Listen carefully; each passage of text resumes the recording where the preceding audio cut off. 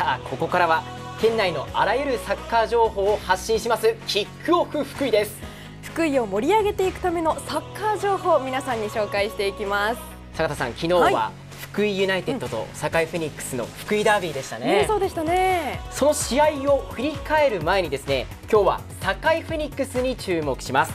不死鳥のごとく今年一部リーグに戻ってきました。日が沈み照明の明かりの下で練習をしているのは北信越フットボールリーグ一部の社会人チーム堺フェニックス。一日の仕事が終わりサッカーの時間が始まります。選手は20代から40代までの25人。そのうち県内出身の選手は18人でその多くは丸岡高校出身です。基本的にはもうサッカーが好きできたら少しでもちょっと高いところでやってみたい。二十歳かまあ30前半ぐらいがやっぱりピークなので、まあ、志高い子たちはうちでやってほしいなって思いで今こういうフェニックスっていうチームを続けてる状態です。堺フェニックスの設立は1979年。初めは丸岡クラブというチーム名でそこから1992年に県リーグの優勝経験もある福井フェニックスと合併。2012年に堺市をホームタウンとする堺フェニックスというチーム名になりました。45年の歴史の中今力を注いでいるのは？いい選手を育てようと思うとジュニア年代からやっていかないと、まあ、スクールも立ち上げてますけどそういうのをやりながら、まあ、何人かねいい選手が出ればいいなっていう感じでみんなでやってます。若い世代のサッカー技術が上がるように自分の練習だけでなく中学生の指導にあたる選手も。チーム最年長の北村隆選手。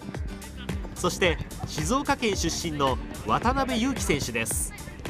自分が選手で経験したことをやっぱり子どもたちに教えれたらなと思って、まあ、取り組んでます。その過程で、まあ、ここにつながってくれたらなって思ってますけど。2年ぶりに北信越リーグ一部で戦う堺フェニックス。働きながらサッカーを続けるチームとして勝負にとことんこだわります、まあ、今シーズンが本当に、まあ、スポンサーにしてもチームとしてもその応援してくれる人たちにとってもそのことは思っているのでそこはしっかり突き詰めてみんなでしっかりやっていきたいと思ってます。その思いは監督も同じです。興味持たせるってすごく大変なんだよ。だから本気でやらないと無理。そうやって育ってきたじゃんみんな。仕事しながら俺らやってんだみたいなのを見せてやってよ。一番かっこいいからそれ。それを目指しましょう。いいですか？はい以上です働きながらサッカーができるチームを探し入団した選手がいます。パーソナルスポーツジムを経営しながらサッカーを続ける江原俊平選手です、職場とはまた違ったコミュニティ。それこそ一番最年長だと40オーバーの選手とかもいるので仕事上交わらないような選手たちともそのチームにいるからこう貴重なコミュニティがあるしやるからには負けたくないしやっぱりそのリーグを降格はしたくないのでやっぱりその監督が言ってることもやっぱ選手たちは理解して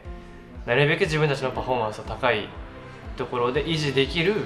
まあ、努力はしていかないといけないと思いますし。一部に昇格した堺フェニックスの目標は？監督するようになって最高が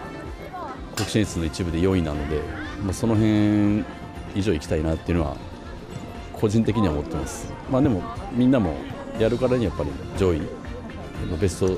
3以内には入りたいなっていう思いでは思ってます。仕事とサッカーとの二足のわらじで挑む北信越一部リーグ。3位以内を目標にプレーします。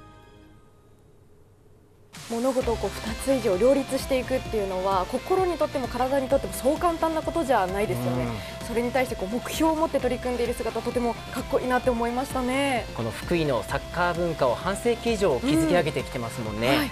その堺フェニックスなんですが昨日北信越リーグ一部で福井ユナイテッドと対戦しました。2年ぶりの福井ダービーマッチとなりました堺市のテクノポート福井スタジアムで行われた北信越一部リーグ第2節。堺フェニックスのホームゲームです。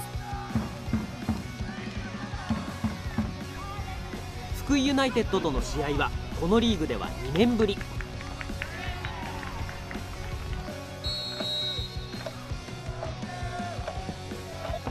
堺フェニックス最初のチャンスは前半23分。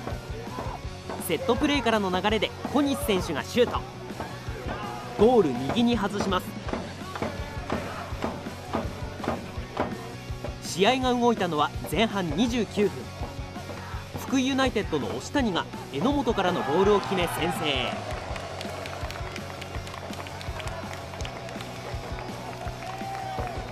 さらに前半終了間際にペナルティーキックを北川が落ち着いて決め2対0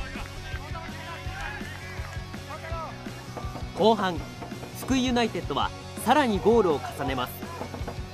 ゴールポストから跳ね返ってきたボールを高貝が決め3点目。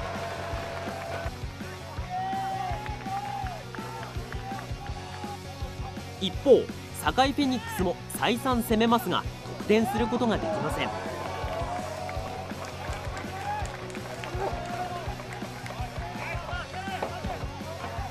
試合は5対0で福井ユナイテッドが勝利。2年ぶりに北信越リーグで戦ったことについて監督に聞きました。あの去年できなかったんですけど今年ねこういうやれることができて。でまず5対0で失点0で、えー、勝てたのは良かったと思います。福井のチームとして本当切磋琢磨してあの福井のサッカーを盛り上げていきたいなと思うんで他の、えー、対戦相手とやるときは本当いつも応援します。強いのは分かっていたので、まあ、どれだけ食い下がれるかなと思ったけど、まあ、結果的には予想通りかなっていう感じです。最初に小西のシュートが入ってたらちょっと面白かったんですけど、まあ、その辺もねやっぱ練習量が足りないなっていう感じです、はい、今回やった失敗というか失点時間なんかもやはり次は前半やっぱゼロにするとか、まあ、そういうところの課題をちゃんともう一回確認してなるべく我慢できるようにちょっとやっていきたいなと思います。チームは違うものの誰にも負けないサッカーへの情熱で福井を盛り上げようとしています。いやー、試合の結果は5対0で福井ユナイテッドが勝ちました、はいこれで福井ユナイテッドは2連勝、うん、そして堺フェニックスは勝ち点がないという状況なんですね、はい、今後リーグ3位に向けて巻き返しを図ってほしいですね、うん、そうですね。これからもチーム福井として切磋琢磨しながら頑張っていってほしいですね。互いに高め合ってほしいです、はい、応援しています。さて次の試合ですけれども今月28日福井ユナイテッドはテクノポート福井スタジアムで新潟経営大学 FC とそして堺フェニックスは新潟スポーツセンターアルビレッジで新潟医療福祉大学 FC と戦います。両チームの今後の試合に注目です。以上キックオフ福井でした。